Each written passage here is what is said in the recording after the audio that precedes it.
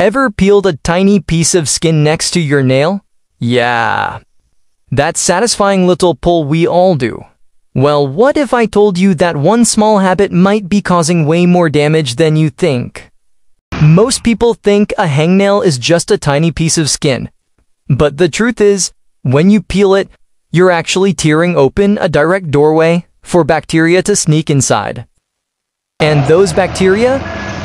They don't just stay on the surface. They travel deeper, straight into the bloodstream, turning a small peel into a painful infection.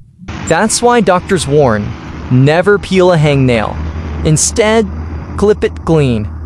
One small cut can prevent days of swelling, redness, and serious discomfort. So next time you feel that tiny piece of skin, don't peel it, treat it.